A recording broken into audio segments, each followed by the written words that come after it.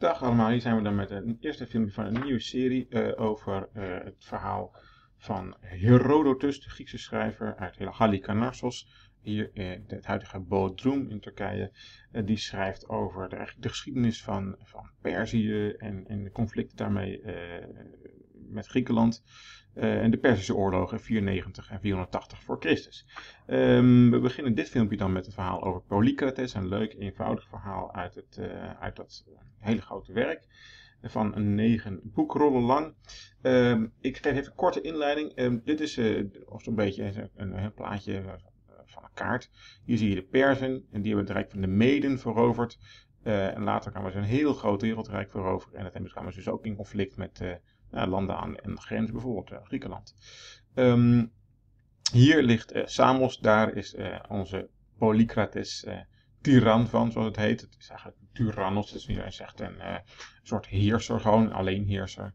maar eerst even kijken goed wat de, wat de context is voordat we daar in dat verhaal induiken. Um, Herodotus vertelt in zijn werk over um, eh, de Perzische heersers achter elkaar zijn dat de volgende, namelijk Tyrus, sorry, Cyrus II. Vanaf 600 tot 530 leefde hij.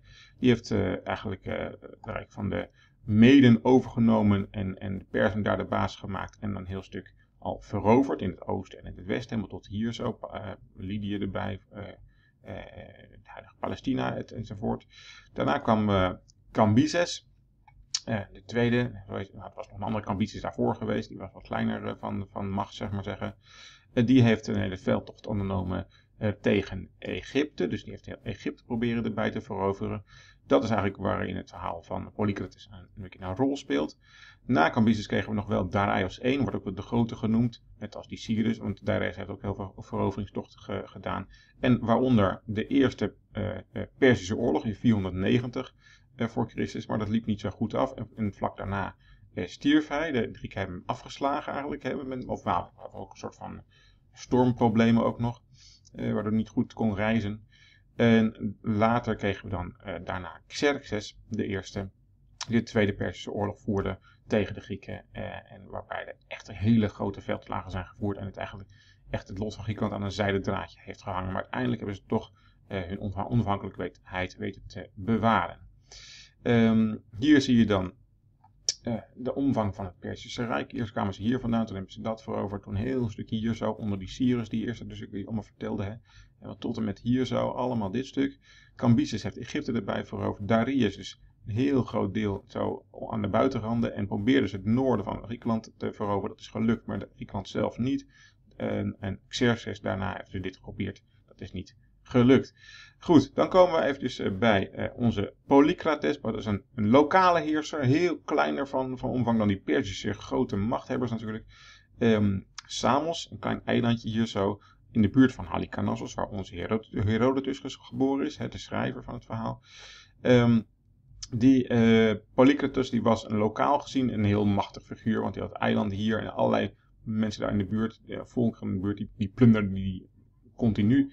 Um, en hij was uh, wel beducht voor de dreiging vanuit, uh, vanuit Perzië, hè, want we leven in, feit, in de tijd van um, nou, 540 tot 520 voor Christus.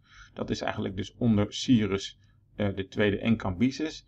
Um, dus het, het, ze waren al op de poorten aan het kloppen, zeg maar zeggen. Hè? Dus die, die Perzen. En dus had onze Polycrates had een verbond gesloten met Amasis, de toenmalige eh, heerser van, ehm, hoe heet het, eh, Egypte. Ehm, en ehm, om eigenlijk samen een verbond te sluiten tegen de Persen. Eh, onder andere niet alleen die twee, maar natuurlijk nog wel meer. maar goed, hoe dan ook, dat liep anders dan gepland. Nou, dit verhaal wat we gaan lezen is een heel detailistisch verhaal meer over hoe in het algemeen als mensen veel te veel geluk hebben, dat ze dan toch eigenlijk iets moeten doen om minder geluk te hebben. Anders dan wordt het natuurlijk een balans verstoord eigenlijk. En dat is uh, waarin Amasis zijn wijsheid betoont. Dit is onze Amasis hier zo het plaatje. Tegenover de ja, veel te gelukkige en, en eigenlijk daardoor zo overmoedig en arrogant geworden Polycrates van Samos. Goed, laten wij eens even zien um, wat uh, we dan vervolgens uh, daarin kunnen lezen. We beginnen met de context van waar zitten we eigenlijk in het verhaal van die Persische koningen. Nou, lezen we eerst dit. Cambusio de Aegypton stratomenou e poiesanto kai laikadaimonio strateien episamon te kai polykrateaton ayakeos os esgesamon epanastas. Kai, etc., etc., etc., etc. Eerst even dit. Uh, Cambusio is een genitief van Cambuses, dat was die, die tweede uh, Persische koning. Um, is een beetje een rare genitieve uitgang, dat is typisch Jonisch. Uh, het Jonische dialect hè, van, van, van Herodotus, waar we het in lezen. Um, stratuomenu uh, is een uh, participium presens van, van strataomai. Dat betekent een veldtocht ondernemen of zoiets. Of, of, of, optrekken tegen of zo. Dus um, vertaal je dan met een presens participium dus met terwijl. Dus terwijl Cambyses tegen Egypte optrok. Ep is epi hè, en dat heeft vaak een soort van vijandige betekenis. Epoiesanto is gewoon maakten uh, of ondernamen. In dit geval is het de combinatie poieo met. En dat betekent ook een veldtocht ondernemen. Een beetje hetzelfde als strataomai. Um, en uh, strateia is in het Attisch, in Jonisch is het strateie. Um, in de accustieve stukjes. Dus maakten ze een veldtocht of, uh, of, of ondernamen ze een veldtocht. Nou, wie dan? Die zeur zijn de Lacedaemoniërs. Dat zijn de Spartanen. Die nou, op een of andere manier um, werken die dus misschien wel samen met de Persische koning. Het is onduidelijk uh, precies wat, uh, aan mij althans, wat de context daarvan is. Maar in ieder geval, die trokken op tegen Samos. Epi Samon, tegen Samos. En Kai betekent hier dus ook, niet en. Uh, tegen Samos en ook tegen, moet je erbij denken, de heerser natuurlijk van Samos, Polykratia. Niet Zoals we zouden verwachten, een samentrekking tussen van EA, maar gewoon Polykratia. Jonisch blijkt die dingen niet samengetrokken. Ton Huon moet je lezen, dus de zoon Ayakeos van Ayakes. Ook weer een genitieve uitgang op os gewoon, die niet samengetrokken is. Um, de zoon van Ayakes, zo heet het. Dat was Polycrates. Uh, Polycrates die Samon Esche, die Samon ja, had, of in zijn macht kreeg, van Aoristus van Ego, is Eschon, hier derde persoon. Um, betekent dan niet in zijn macht kreeg, of gewoon hè, in zijn macht had. Ep anastas. Staas kennen jullie wel, komt van histamai, betekent letterlijk gaan staan. Ep an histamai betekent uh, een staatsgreep plegen. Dus tegen iets, epi, zoals hier ook. Anna is omhoog en dan gaan staan. Dus in een staatsgreep gepleegd hebben. De participium auristus staas van, uh, van histamai. Dus nadat hij, een nadat hij een staatsgreep gepleegd had. Nou, dus gewoon de macht met geweld overgenomen. Um, en dan uh, komen we nu in een soort van flashback.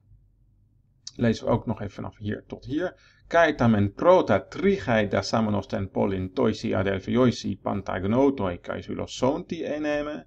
Meta de ton men auton apokteinas, ton de neotoron sulosonta excelasas, es gepasan samen.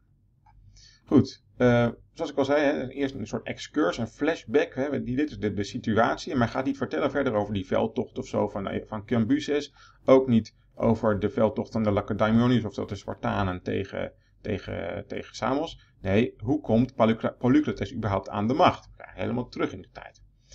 Dus en um, ta prota, eerst, men, let op, men. Dit is eerst en eh, ta prota, men is eerst dit, meta is en daarna. Dus en eerst da samenos uh, van da theomai is verdelen. E da samen is de aorist, dus krijg je de stam nu das, dasa. Voor, voor de aorist is dan menos voor het participium. Dus nadat hij verdeeld had, ten polin, de stad, trigai, betekent gewoon in drieën. Um, uh, van nemo betekent ook weer delen aan of uitdelen aan of iets dergelijks hè, van uh, Nemo. En dan dus uh, pseudo-sigmatische aorist enema voor ik en eneme voor hij. Um, deelde hij dat dus, die stad dus hè, uh, met of aan zijn broers. Toisi, Adelphi, van Ho Adelphos. De uitgang Toisi en Oisi is daar een ionische uitgang voor de dativis meervoud. En bovendien is het hier niet samengetrokken tot Adelphoisi, maar Adelpheoisi is apart blijven staan in het Ionisch. Dus met zijn broers Pantagnotos heette die ene en Suloson heette de tweede. Dit is de oudste en dit is de jongere. Um, dat hebben we verdaald. En daarna dus, wat deed hij nog meer? moet eerst weer participia door natuurlijk, want zo werkt het altijd. Eerst participium, dan hoofdje, hoofdwerkwoord. En daarna uh, ton men auton apokteinas, nadat hij gedood had. Dit is het participium pseudosigmatisch van apoktino, hè, dus apokteinas krijg je dan. Nadat hij gedood had, ton men, de ene autoon van hen.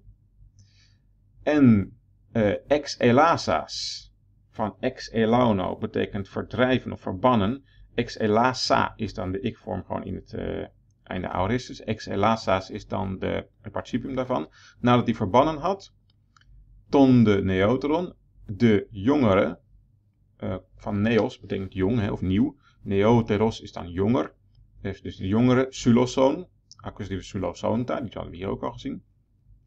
En nadat de jongere had verbannen, dus de, de ene van hen had hij gedood en de andere, de jongere, dus de suloson nadat hij het verbannen had, esge, hadden we hier ook weer, hè, had, kreeg hij in zijn macht, had hij in zijn macht, pasan samon, geheel samos. Let op, alle eilandnamen in het Grieks zijn vrouwelijk, vandaar niet pa, panta samon, maar pasan samon, het vrouwelijke accusatief van paas.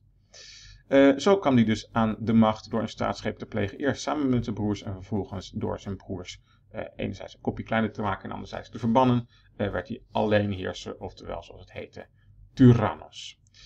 Um, goed, hoe het dan verder gaat lezen we uiteraard in het volgende filmpje. Tot dan.